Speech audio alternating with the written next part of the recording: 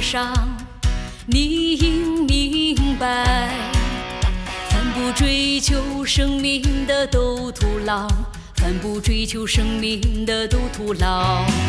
你心神跟从神，你得有爱神的心，你得脱去败坏心情，你得追求满足神的心意，你得尽到受造之物的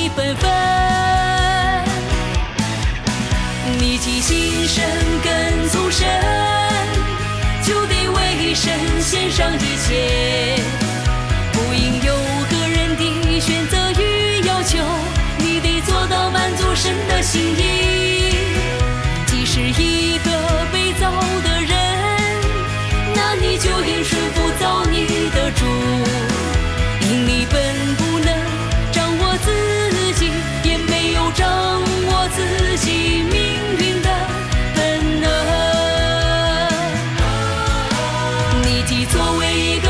个新生的人，就应追求圣洁，追求变化。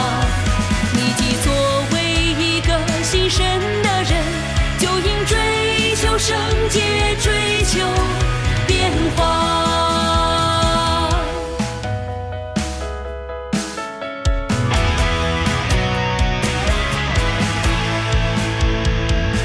从彼得与保罗实质的区别上，你应明白，凡不追求生命的都徒劳，凡不追求生命的都徒劳。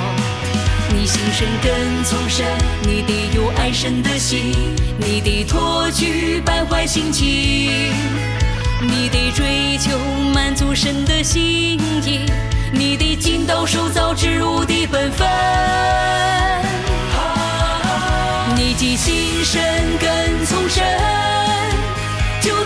一身献上一切，不应有个人的选择与要求，你得做到满足神的心意。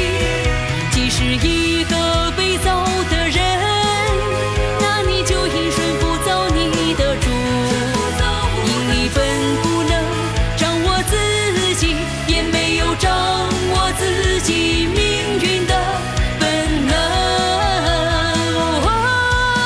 你既作为一个新生的人，就应追求圣洁，追求变化。